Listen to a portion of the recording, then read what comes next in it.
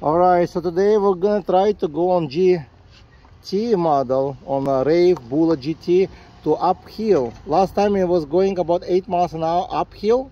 Some bicycle 750 motor never ever made it and I'm with my son and we'll try to go on throttle only. Okay, let's go.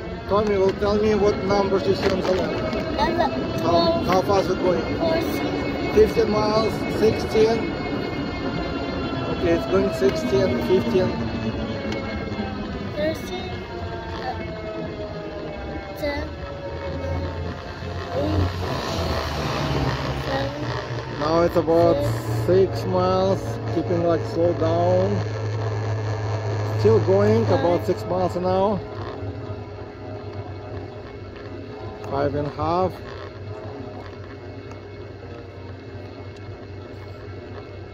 Kind of slow but still pulling uphill. Actually 750 motor Troxus stopped going from this point already.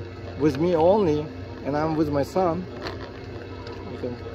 five miles an hour keep going. It's over 270 pounds combined. It's still pulling us. It's about five miles an hour almost there so far really really surprising. It's still pulling up about 4 miles hour. 3.4 almost there. And I will stop. It's almost two and a half miles hour. And we almost made it. I'm gonna show you how far we made it. We're almost like maybe less than 100 feet away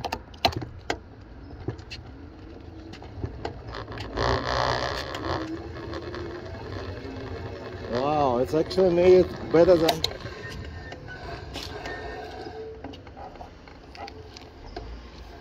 some cars cannot even go.